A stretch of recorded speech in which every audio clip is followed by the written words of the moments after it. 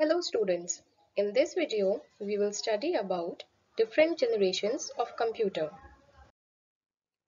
There are five generations of computer.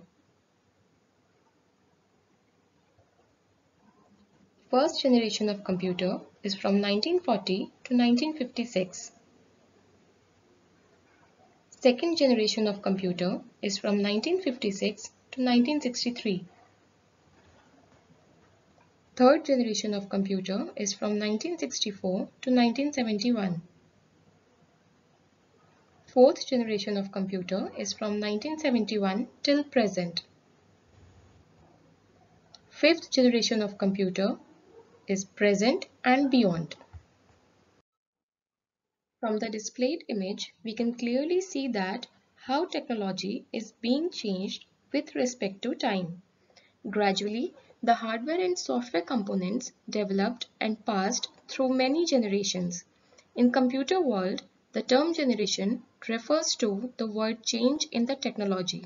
In every generation, the computer technology become more advanced than the previous one.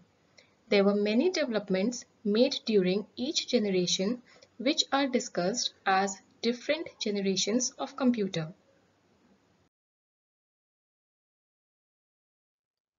First generation of computer was from 1940 to 1956 and its main component was vacuum tube.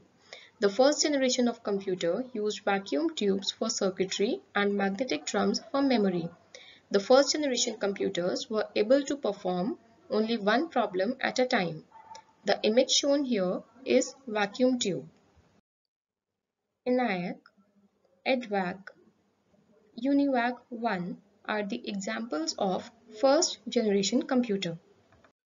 So, first generation of computer was from 1940 to 1956. First generation computers used vacuum tube technology the size of computers were huge, almost the size of a big room. They used to generate a lot of heat due to presence of numerous vacuum tubes. The first generation computers used machine level language.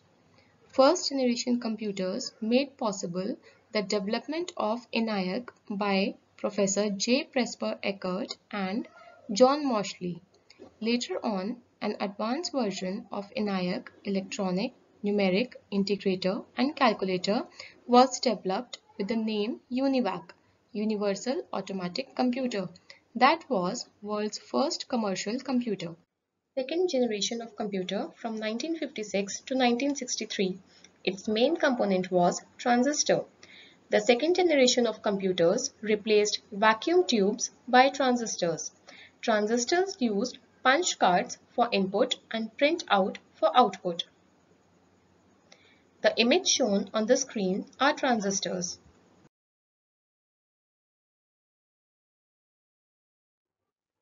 IBM 7090 and CDC 3600 are examples of second generation computer.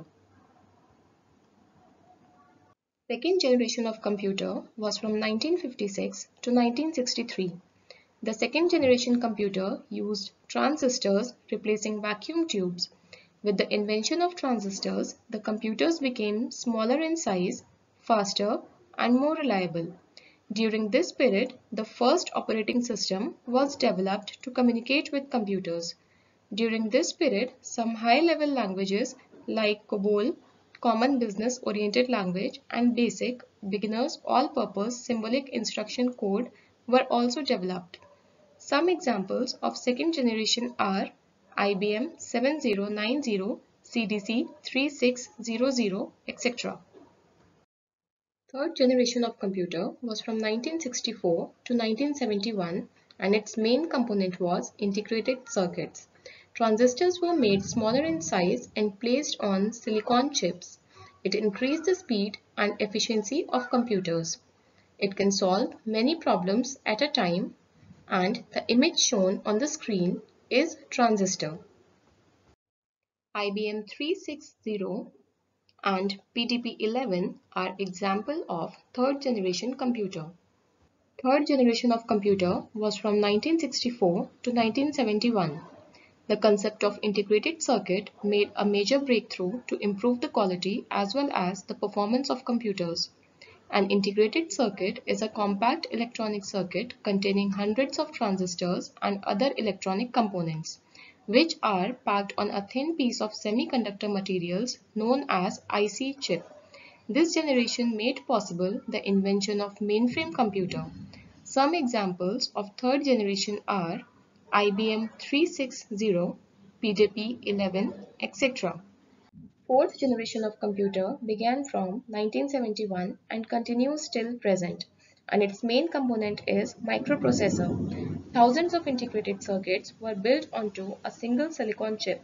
As these small computers became more powerful, they could be linked together to form networks, which eventually led to the development of the internet. The image shown on the screen is microprocessor. All the form of computers that you look around yourself like desktop computers, laptops, mobile phones, tablets, iPods, etc. are examples of fourth generation computer. Fourth generation of computer from 1971 till present. In the year 1975, an integrated circuit was developed, which could hold thousands of transistors on a single component. This technique is known as large-scale integration or microprocessor. The concept of microprocessor came into existence with this generation, which led to the development of microcomputer. Today, Intel Core series is considered to be one of the most powerful microprocessor developed by the Intel Corporation, USA. All personal computers manufactured by IBM, Apple, Dell, Compaq, Lenovo, etc. belong to the fourth generation computers. Fifth generation of computer, present and beyond. Its major component is artificial intelligence. Fifth generation computer will come close to bridging the gap between computing and thinking. Because of these advances in technology, we can now make movies, create 3D animations, able to play video games,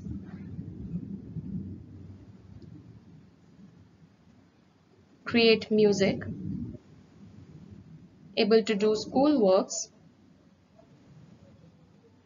do business, transportation, navigation, space technology, and many more. Examples of fifth generation computer are robots. Robots are programmed to carry out certain tasks. They decide themselves as how the task should be accomplished. Presently, Alexa and Siri are examples of fifth generation. Fifth generation of computer is present and beyond. The fifth generation computer are based on artificial intelligence the main objective of fifth generation is to develop a device that could respond in a natural way. It will be capable of thinking, learning and will have the power of human intelligence. Now let us take a look on characteristics of different generation computers. Here characteristics of first and second generation computer are listed below. Characteristics of third and fourth generation computer are listed below.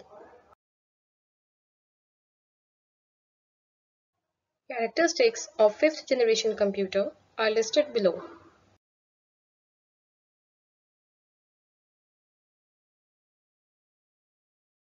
Now, based on the topics discussed in this video, here few exercises are mentioned for you.